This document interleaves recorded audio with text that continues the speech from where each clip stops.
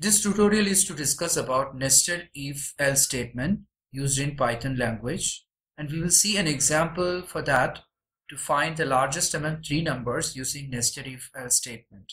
An if or else statements block can contain any other type of Python statement. That implies that it can also include other if statements. An if statement, if we put inside another if or else block of statements, then it is known as a nested if else statement. Now we can see an example for a nested if else statement. In the first if block, we have included another if else statement.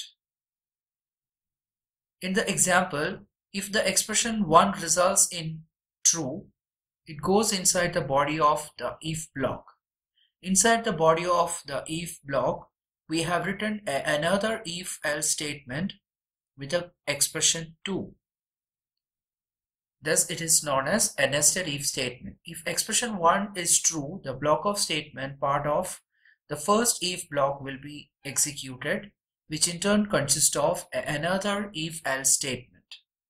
So it is an example for nested if else statement. Let us see a Python program to accept a number and display that it is a positive, negative or zero using nested if else statement.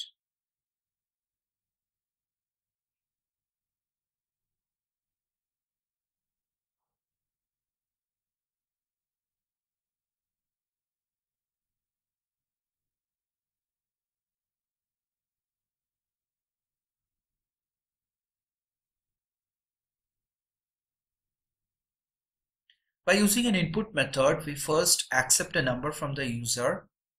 Get typecast into an integer and get stored into the variable n. By using an if statement, we check the conditions that the number is greater than or equal to 0. Now inside the if block, we again check that the number is equal to 0. Then we print that it is as 0 what we have entered. In the else block of that, we print that the number is a positive number because in the first conditions we have checked that the number n is greater than or equal to 0. So number can be either equal to 0 or it can be a positive number. In the final else block, we print that it is a negative number because the first conditions if the first conditions is false then n will be less than 0 that means it is a negative number. So this program is an example for nested if else statement. Because in the first if block we have included another if else statement block. Execute and see the program output of this. During the execution. If we enter the number as 10 it shows that it is a positive number if we enter this minus 3, it shows that it's a negative number. If we enter as 0, it shows that it is 0.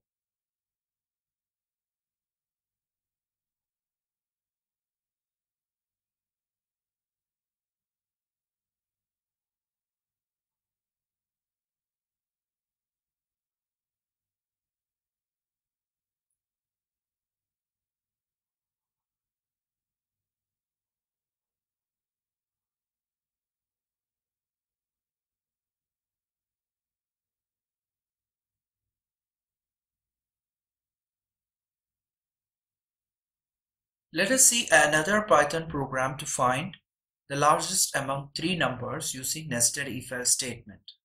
Consider three numbers as a, b and c. First we check the conditions that a and b like a is greater than or equal to b. If this condition is true, the number a will be a greater number than b now number A is already a greater to B.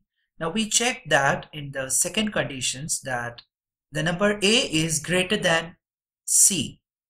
That means A is already greater than B and if A is greater than C also then we can see as per the sign of the symbols A is the largest number.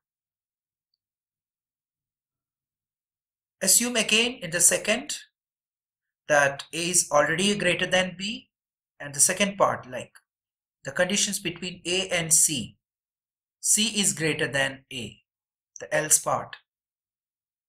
Now as per the sign of the symbol, we can see that C is a larger number.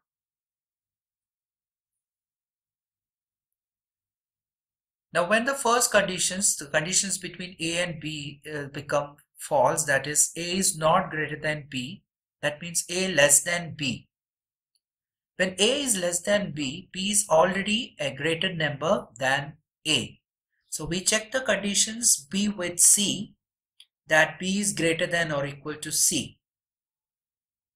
In the third line, B is greater than A also and B is greater than C also. Then the number B is a larger number. In the else part, as per the sign of the symbol, B is more than A and C is more than B. Thus, C is the larger number.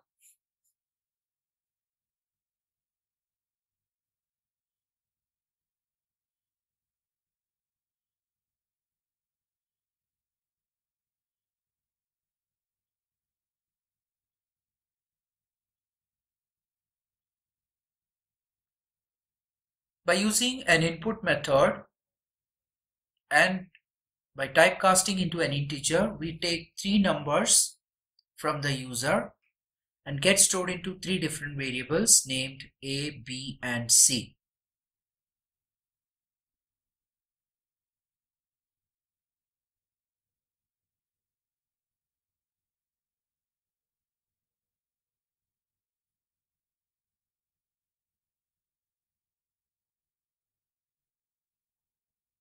In the first condition, we compare the number between A and B, that A is greater than or equal to B. Now when the condition A greater than B is true, we check that A is also greater than C. Now if A is greater than B and if A is greater than C, then we can print that the larger number is A.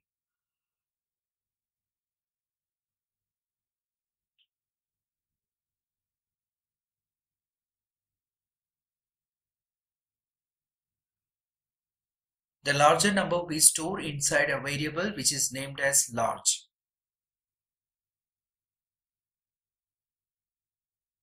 Else, that means C is greater than A. So if C is greater than A, we can see the larger number will become C. That means A is already greater than B and C is more than A. The larger number becomes the C.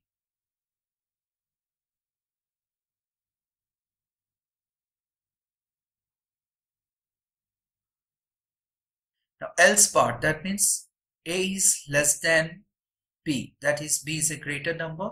We check the conditions that b is also greater than c. If b is also greater than c, the larger number will become b. And otherwise in the else block, if b is less than c, the greater number will become c. So the greater number is stored inside a variable which is named as large.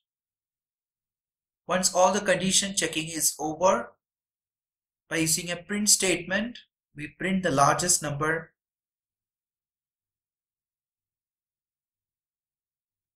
which is stored inside the variable large.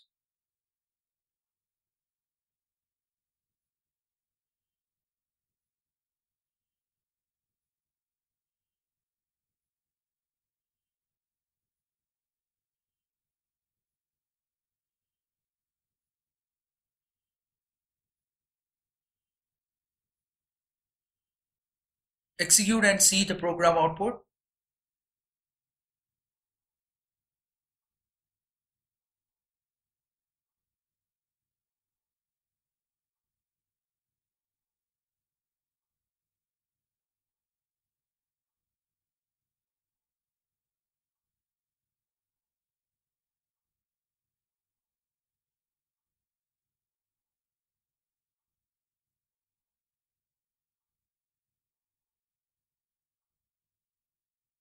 Thank you for watching this video.